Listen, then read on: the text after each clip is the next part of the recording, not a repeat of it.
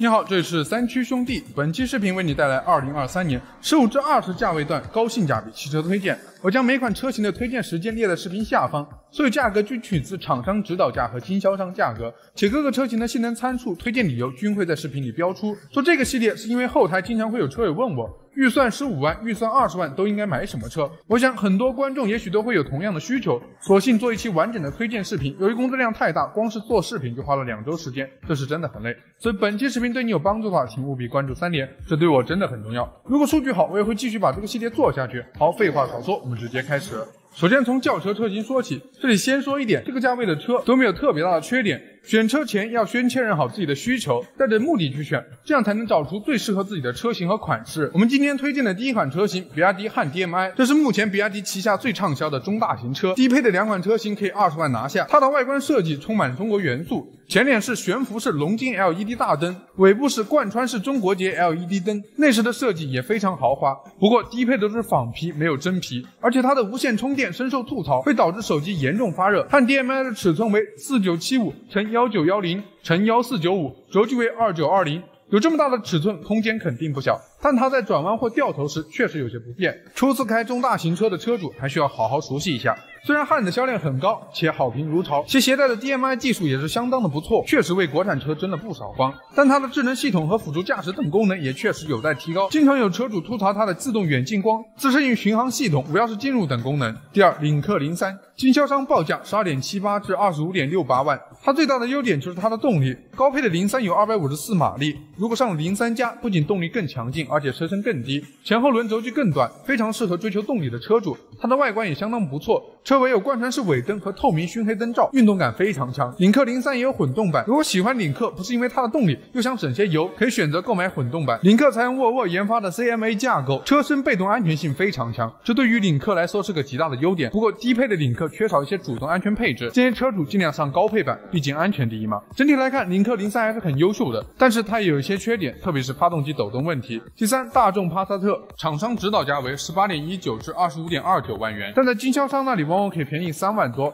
这款车之所以优惠力度很大，是因为大众在华销量不断下滑。今年上半年，大众集团在华销量为一百四十五点一九万辆，同比下降约百分之二。中国市场占到大众集团全球销量的百分之三十三，而上年同期这一数字为百分之三十八。为了维持市场地位，大众不仅对其产品进行了降价，还做出了更高性价比的改款。新款帕萨特的高配版推出了星空式格栅，设计上与之前的造型相比变得高级了不少，但是车尾部分和老款相比基本没有变化。车身轴距达二八七幺毫米，在中型车里比较优秀。足以满足家庭的日常使用。动力方面，星空豪华版搭载 2.0T 涡轮增压发动机，最大马力186匹，最大扭矩320牛米，前置前驱，操控性能很不错。但有用户反馈加速不均匀，有强烈的顿挫感。新帕萨特属于一个性价比的选择。整体来看，没有明显的优点和缺点，整车素质中规中矩。外观和内饰进步了不少，内置十色环境氛围灯更有科技感。其发动机也较旧款略有提升。第四，本田型格这款车在二三年推出了混动车型，经销商报价十四点四九至十六。点一九万，搭载了第四代 iMMD 双电机混合动力系统和二点零升直喷式阿特金森发动机，车身尺寸为四五六三乘幺八零二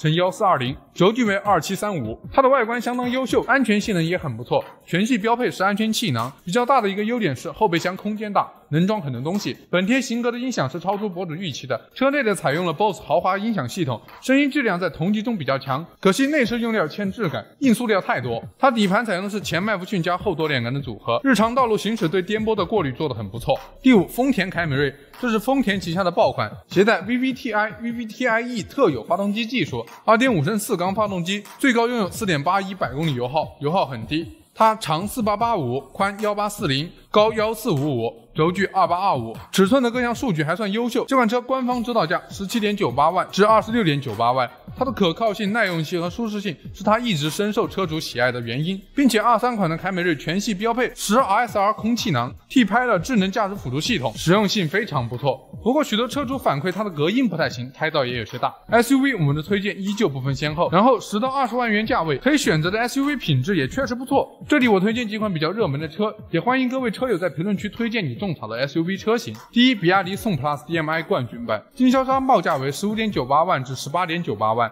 车身长四七七五，宽幺八九零，高幺六七零，轴距二七六五。与其相似的一款车，宋 Pro DM-i 冠军版，整体尺寸比它略小，但顶配十五点九八万就可以拿下。二三款的宋 Plus 外观上改用海洋系列的设计风格，车标由汉字改为 BYD。虽说名字人为宋，但它实际上是比亚迪海洋的系列产品。Plus 和 Pro 的内饰区别不大，博主认为 Pro 的要好看一些。它们的缺点也离不开比较，Plus 最大的缺点是性价比不如 Pro。而 Pro 最大的缺点是空间比 Plus 略小，两款车的动力没有任何区别，发动机都一模一样，区别在于续航。Plus 提供一百一十公里和一百五十公里的续航版本，而 Pro 提供七十一公里和一百一十公里的续航里程版本。在续航方面，Plus 的上限要高一些，除此以外都是一些小区别，在这里就不展开叙述了。博主建议想购买 Plus 却只有钱买最低配的朋友买顶配的 Pro。二者的经销商报价相同，但顶配的 Pro 配置要比低配的 Plus 强很多。单说主动安全预警系统，低配 Plus 一个没有，但顶配 Pro 直接拉满。而且因为 Pro 车型本身就比 Plus 车型轻，Pro 车型的百公里加速和油耗都会更理想一些。第二，本田 CR-V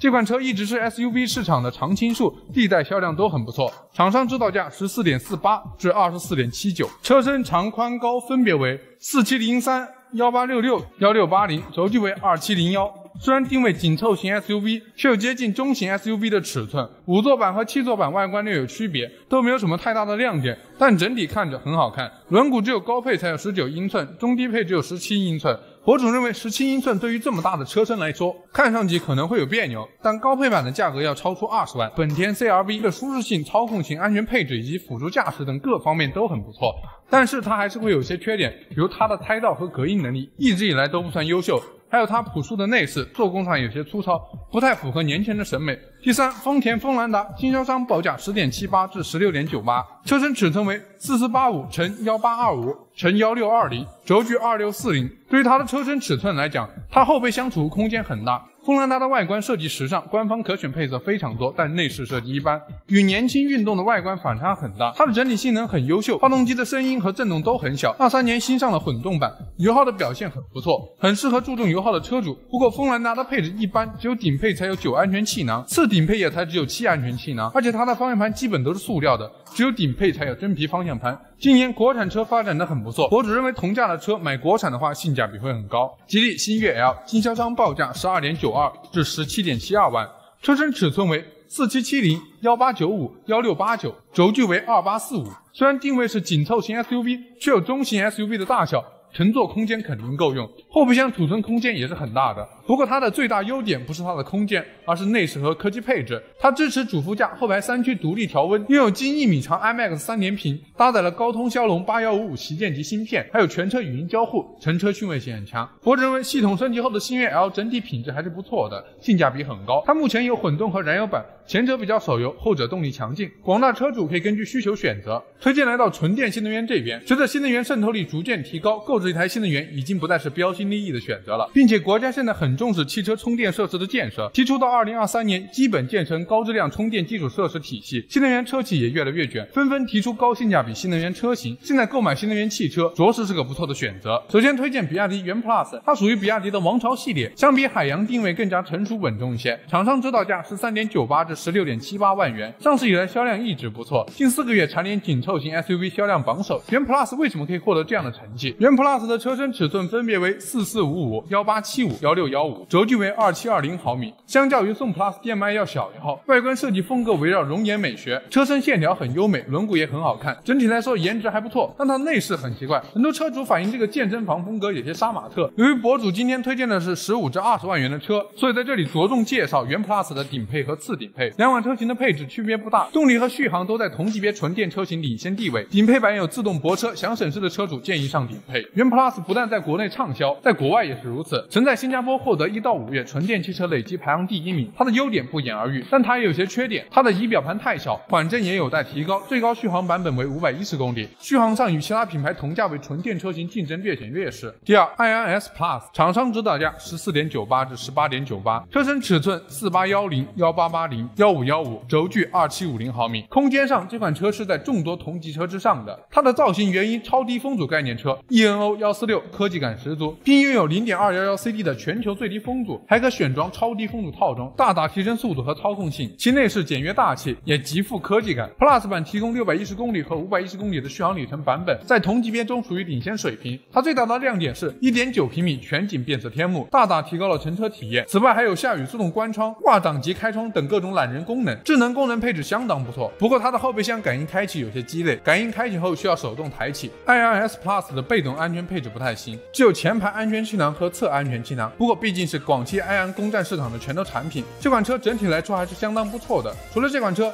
埃安的紧凑 SUV iNY Plus 也是纯电汽车市场的热销款，厂商指导价十三点一八至十七点九八万，车身长四五三五，宽幺八七零，高幺六五零，轴距为二七五零毫米。这个数据在紧凑型 SUV 中位于领先水平。它的后排空间和储物空间都很大，非常实用。再看它的面包车外观和简约内饰，不难得出这款车主打一个实用性。iNY Plus 的直接竞争者是元 Plus，它提供六百一十公里的续航版本，并支持二百二十伏对外放电和全座椅全屏放倒，实用性优于元 Plus。但当对比两款车的同价位车型时，会发现 iNY 的安全配置略差。第三，深蓝 SL 零三分为十四点九九的增程式款、十六点七九和十九点九九的纯电款。纯电的两款车的区别在于续航，分别为五百一十五公里和七百零五公里。车主大多数购买的是增程式款和五百一十五公里款。深蓝 SL 零三的定位为中型车，车长四八二零，宽幺八九零，高幺四八零，轴距二九零零毫米。后备箱储物空间很大，但乘坐表现不佳，后排座椅很直，坐得很不舒服。其最大的优点在于它的颜值和性价比，前脸造型非常帅气，尾部的贯穿式尾灯深受年轻人喜爱，再加上它低趴的姿态、无边框车门以及隐藏式门把手，整车的颜值在同价位车型中绝对是佼佼者。不过它的小毛病也很多，有各种异响问题和死机问题。在车的设计上也有些偷工减料，比如前排座椅只有坐垫可以加热通风，前轮没有内衬板，底盘偏硬，减震一般。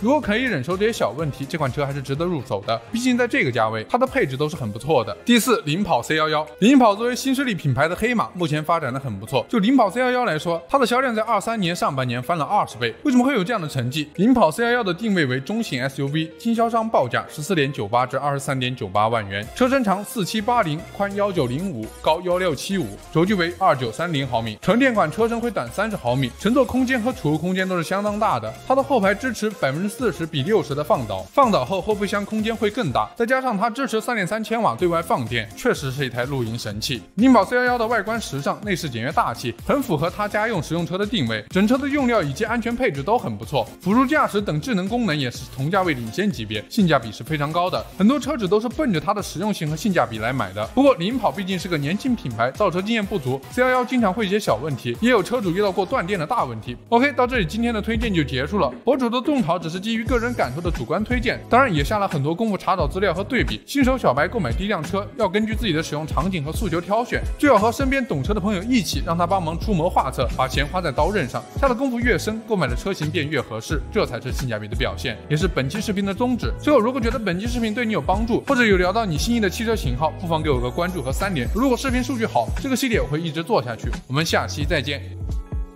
本期视频为你带来一到五万元各价位段公路车车型推荐。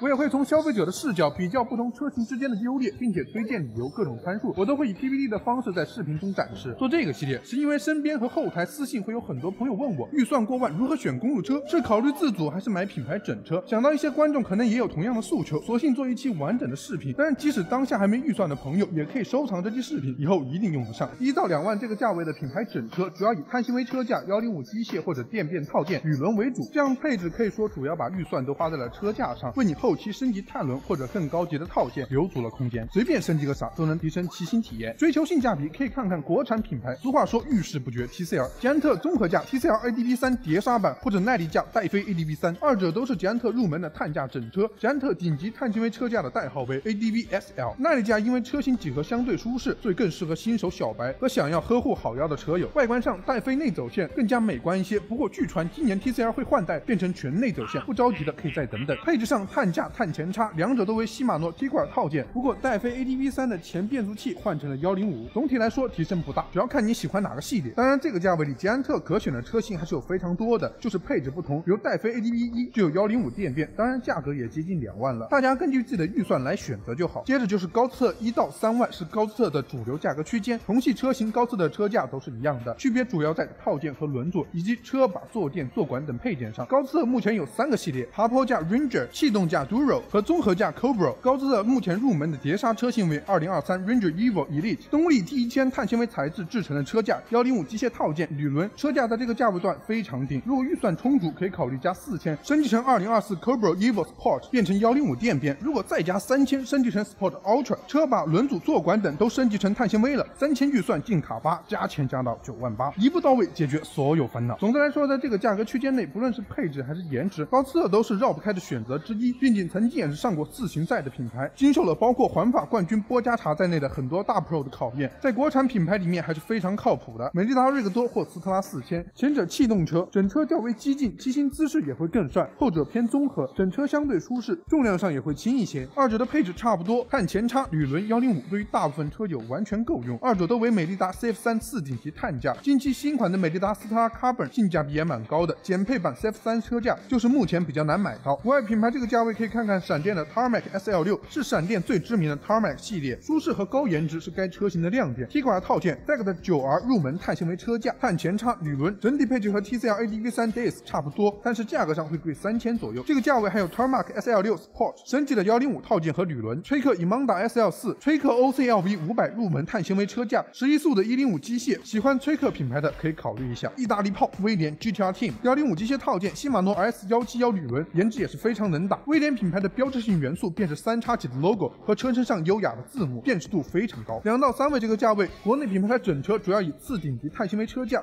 幺零五或 UT 电变、碳轮为主。如果没有竞赛需求，配置已经非常顶了，无欺骗休闲骑完全够用。首先是高斯特综合架 Carbo Sport Legend 破风架 Duro Sport Legend，车架材质动力 T 一千碳纤维，这两款车都是幺零五电变的顶配版本，轮组为 CP 十帽，碳纤维一体把、碳座管都有，可以说是这个价位里性价比超高的车型之一，在骑友中好评如潮。二者主要的区别是车架几何和外观，Duro 的漆水是光面的，在造型上更加犀利，Cobra 是磨砂的，大家喜欢哪种？至于 UT 电变的版本，就看各位预算了。捷安特 TCR ADV Pro 一 Disc 次顶级碳纤维车架，UT 机械套件，碳轮为捷安特自家的 SLR 一四十二轮组，同价位段还有气动架 PB ADV 一以及耐力架戴飞 ADV Pro 一。对于非专业选手而言，从机械到电变的提升是会比从幺零五到 UT 的提升要大的。美利达在这个价位段有锐多六千或七千，配置上和捷安特差差不多，这里就不过多赘述了。有需求的可以暂停观看。国外品牌闪电爬坡架 a s o Sport Shimano 幺零五将整车重量做到了七点八千克，要比同级的崔克 Emonda S 幺五要轻接近一千克。崔克爬坡架 Emonda S 幺五或者 S 幺六 Di Two，崔克的 OCLV 五百入门级碳纤维车架，S 幺五为十二速幺零五机械套件，S 幺六为幺零五电变，都为铝轮。近两年，崔克和闪电都在国内新开了大量门店，也能提供专业的售后服务。Survilo 综合耐力车型 Caledonia，Survilo 也是这两年环法赛事的冠军品牌。这款车算是价格最入门的 Survilo 车型，碳纤维车架幺零五机械套件，铝轮。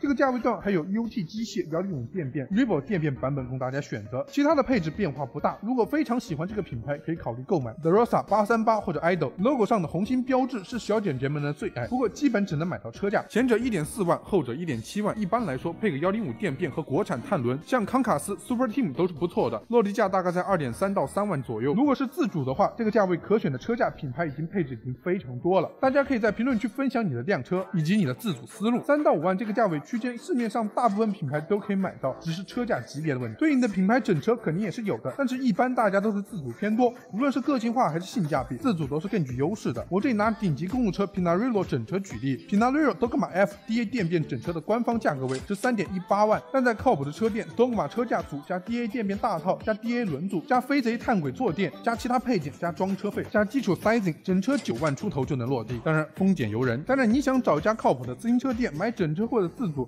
不妨来看看和我们深度合作的 PB Plant Between，坐落杭州拱墅运河天地。目前除了宇宙 e-bike 之外，也代理上面提到的不少骑行品牌。欢迎大家查看评论区咨询和线下捧场。回到正门，这里我就重点讲一下自主的注意事项。首先，自主公路车我们需要明确公路车的组成部分和型号，因为公路车组装既不防呆也不防傻，不少人都在上面踩过坑。再就是合理的预算分配，一般来说，公路车主要分为三大件、三小件和其他配件。三大件就是车架组、套件、轮组；三小件就是车把、坐垫、坐管，其他部件就是把带、脚踏、内外胎等。一般情况下，三大件会占预算的百分之七十到百分之八十，三小件和其他部件占百分之二十到百分之二十五，剩下的就是装车费或者 sizing 了。这个价位的自行车，无论是自主还是买整车，第一件事情一定是找一家靠谱的专业店做一个 sizing，来找到适合自己的车架尺码。同样是幺七零身高的两位车友，跨高差距可以超过十公分，几乎能跨越两个尺码。买车前和上商家沟通基础数据，线上或者线下沟通尺码表，才不会出现被不靠谱商家强塞库存车架的情况。这也是买车最大的坑。纯新手不推荐直接做花费上千元的飞艇，先花一段时间培养骑行的习惯，是休闲还是竞技？在这过程中遇到的问题，再去找专业的 fitter 调节坐垫高度、垫圈高度、把力长度、弯把参数，寻找更适合自己的发力姿态。我们身边有不少车友在飞艇之后，功率直接提升了百分之十以上，可以说是最值得的一笔投资。一般来说，现在的车架品牌都会附带前叉、坐管、坐管夹、碗组、尾钩等配件。不过现在越来越多的品牌也会自带一体把，但价格往往都比较昂贵。自主整车也可以选择性价比更高的国产。购买前需要明确车架头管和车把的适配，并在专业车店技师的帮助下装车。在车架之后的第二步是选择套件。目前主流品牌为禧玛诺和速联两家，主要由手变、后拨、飞轮、曲柄、前拨、链条、刹车、碟片组成。在这个价位段，推荐大家都上电变，体验上会更好。禧玛诺电变主要有幺零五、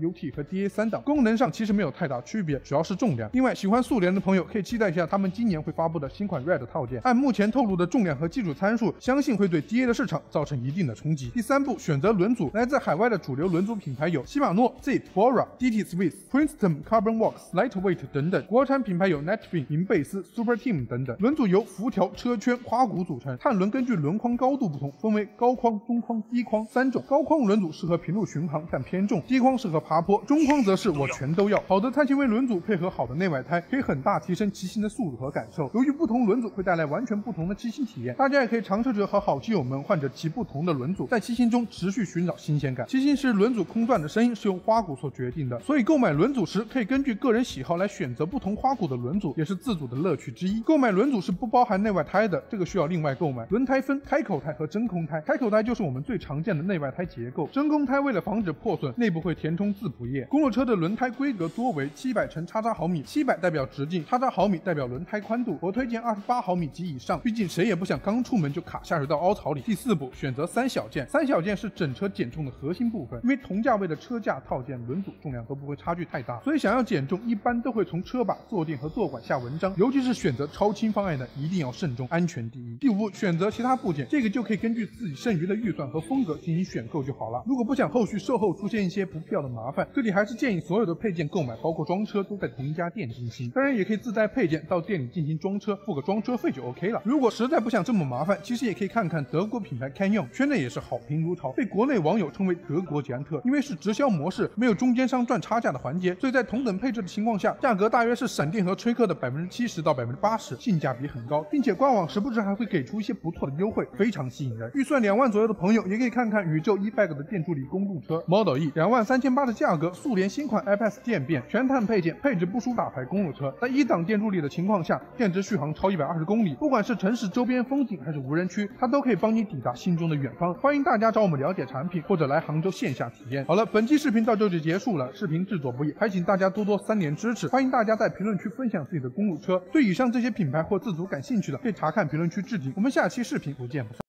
大家好，这期视频我将手把手指导大家如何研究透新能源车企，从研究一台电车到底该不该买，到理解一台电车企业的长期竞争力。我们总结了一些我们的研究方法，这真的是压箱底的干货呀！这期视频我将分享我们的商业分析资源和独家研究框架。我强烈建议呢，是有意购买新能源汽车的朋友们，一定要认真观看这期视频，因为买电车不同于传统汽车，过去买车只要看评测，单研究这台车怎么样就完了。而电车的交付价值却贯穿整个车的生命周期。如果车企倒闭了，那承诺的 OTA 在线升级、首任车主权益也将不复存在。比如当年被忽悠买了乐视的老哥，真的有苦说不出。除去车外，更应该研究车企本身是否靠谱。当然，要是你本身平时就会购买一些股票，那就更应该收藏这期视频了，因为我会在分享一些新能源资讯网站和投研思考框架的同时，也会讲一下我对2023年三家造车新势力各自目前的优劣势的理解。好，废话少说，我们直接开始。首先，我先将本视频讲到的资料网站贴在这里，提供给需要的老哥截图自取。如果是了解一些行业动向、新能源资讯，我推荐以上几个国外网站，你可以找到非常多的全球新能源汽车资讯。Electra 上有很多关于特斯拉的干货信息，Electra 会有一些电动卡车充电设施以及储能设备的行业信息。国内的网站建议看看新出行、电动帮、车云网、第一电动。新出行有很多国内一手新车信息及评价，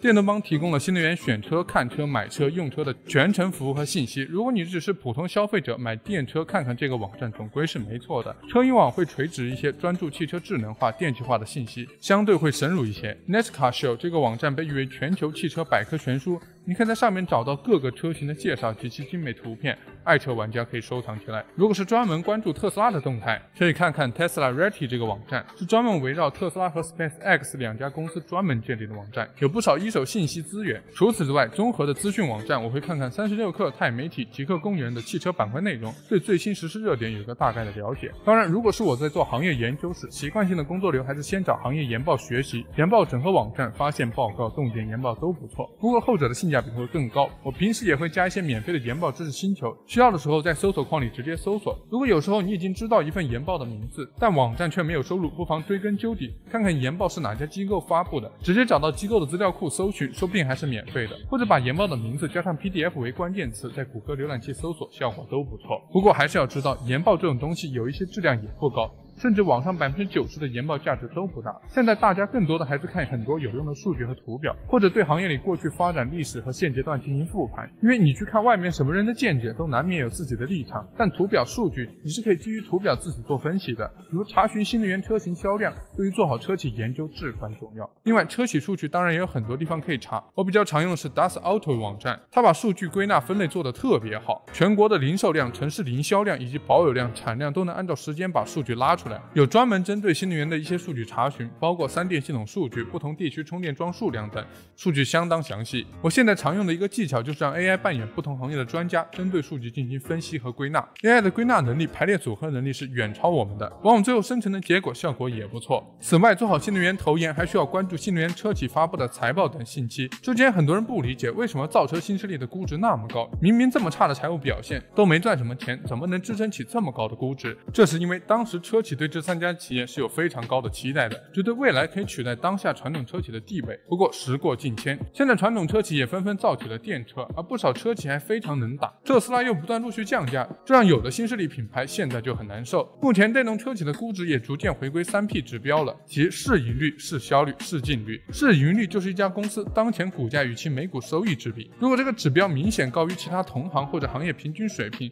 那可能就意味着估值过高了。市销率即公司市值与其总销售收入之比，市净率就是公司市值与其账面价值之比。三个指标都是同样的道理，高于同行或者行业平均水平，就说明估值过高了。除此之外，还可以看投资回报率。如果预期回报低于投资者要求的回报时，那公司的估值也意味着被高估了。当然，如果你说你实在看不懂财报，那我建议在今天这个时代，可以用 AI 工具解决。一家车企财报发布之后，你可以把上面我说的关键指标找出来，再去找对应的行业平均指标是多少，整理好后集中喂给 AI，让其进行分析。因为这些都是纸面指标，雷打不动的数据，所以分析出来一般不会出错。但也这并不意味着可以反映企业的真实价值，因为电动车企你还需要评估它的发展路线和想象空间，评判还未上市的新车型，在未来上市发售的时候是否有足够竞争力，能不能卖爆。有些时候，一款爆款车型就能把整家车企的股价拉到一个新高度，甚至爆款车型就是驱动新能源汽车行业的驱动核心。从供需关系上，爆款车型一方面要看消费者的需求，需求带动销量；二来是评估车企供给，你有多少产能，产能的上扬速度决定了爆款车型的爆发速度。其实现在做投研可比以前轻松太多了，因为好的 AI 工具提升的效率可能没有十倍，但两倍肯定是有的。比如我现在习惯性下载好研报后，会把它喂给 KDF 中枢这个 AI 管理工具，不同于于。Chat G P 加插件，KDF 中枢理论上可以投喂无限多的 PDF 研报和自己整理好的投研资料，建立一个小小的实时的不垃圾信息污染的数据库，让 AI 只基于这个数据库资料生成问题答案。目前看生成的效率是非常不错的，也能很大程度上帮助博主提高投研效率。当然，除去财报外，想更深入剖析企业，还应该关注财报电话会内容，尤其是 CEO 高管对提问的回答。如果你长期跟踪创始人的发言，就会发现哪些创始人是想清楚了长期战略，在稳扎稳打。执行的，而哪些创始人又是投机分子，走一步看一步的，那他们家的车和股票可能长期就不太值得买了。我一直认为企业的一号位的深度访谈是很重要的内容。比如，虽然我对理想汽车感觉一般，但是我还是很喜欢研究理想这个人的。自己朋友圈也写过两条对理想的评价，他们表达的东西肯定是更深刻一些。比如以前老是被种嘲的增程路线，现在各大传统车企都在争先发布和抢占市场，因为增程汽车很可能并不是一个过渡路线，而是新品类的开创。如果一个城市全是纯纯电车型，那对当地电力负荷也是很大的压力。但混动车型是拥有调风填谷的能力的，相比燃油车又更环保。因此，中国工程学发布的《节能与新能源汽车技术路线图二点零》认为，到二零三五年的时候，混动车型很可能完全替代燃油车。那时候，混动车型和电动车将各占一半。除去赌对增程和产品定位这一点，我觉得理想近期被讨论越来越多，还在于它确实最早敢于跳出传统车企定义的价值框架的。大冰箱、大彩电直接给你空气悬挂、真皮座椅按摩、通风加热，这样看配置上吊打同级别车。国内买车都喜欢大，可是大车往往意味着贵。理想全系都是五零三零毫米以上的大尺寸车身，给人直观感受就是大，很旗舰。而价格上，因为走的是真程，没有那块昂贵的大电池，也没有高级别辅助驾驶投入，再加之理想用到的供应链很多地方的用料额外的省，所以理想的成本比别的车低太多，可以卖到一个相对更低的价格。因此现阶段的理想销量相当可观，而且会保持很长一段时间，因为它在自己的赛道是几乎没有对手的。反观小鹏近年就很头痛，虽然不久前上市的小鹏 G6 价格很劲爆，二十万的价位就能拿下八百伏加一体压铸加 XNGP 的车型，无边框车门、溜背造型、前。双叉臂后五连杆，可能全球都找不出这么良心的车型。但是小鹏这次的竞价是完全不顾 BOM 成本，也就是造车过程中的材料、人工制造费，强行把价格降低了，很可能销量越大亏得越大。理想之前还发微博说，一家车企的毛利最好在百分之十五到百分之二十五之间，这是最基本的常识，否则这种商业模式便是不健康的，难以循环保持下去的。还有小鹏当下的主力销售车型，占到总销量百分之七十的 P7、P5 最低配车型，实际是没有搭载什么先进智能驾驶配置的，也。也就是说，小鹏主打的智驾体验，很多朋友是没有享受到的。而这块智能驾驶的研发投入，却长期在小鹏内部占据很大比重，这就有种把好钢用在刀背上的感觉。所以这块问题是小鹏内部一开始没有考虑清楚的。未来今年压力也很大。QQ 财报显示，未来的销售毛利率仅有百分之一点五二，是三家造车新势力中毛利最低的。再反观同时期，理想高达百分之二十点三九的毛利，其次特斯拉同期毛利百分之十九点三四，比亚迪百分之十七点八六。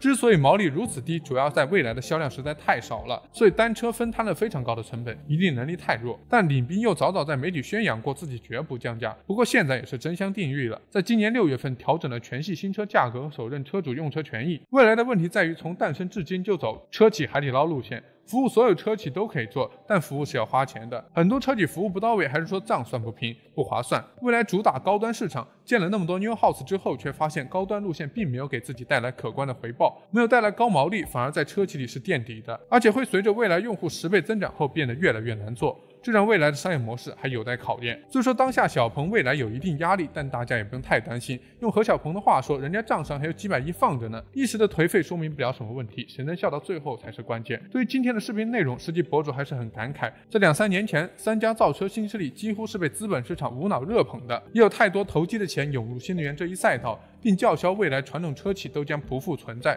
实际现在不少传统车企推出的新能源车型也相当能打，因为造车本质还是对供应链的管理和议价能力，这块是传统车企多年以来建立的优势和壁垒。就跟几年前一众新消费品牌也很火一样。换一个看起来很时尚的包装，以为就能让年轻人无脑掏钱买单，但有些产品是空有其表。年轻人为什么要单单的为一个好看的包装花钱呢？而元气森林能跑出来，本质还是自己一直在积累，有足够的线下渠道能力。因此，大家在做研究的时候，一定不要基于表象思考问题，而是要透过现象。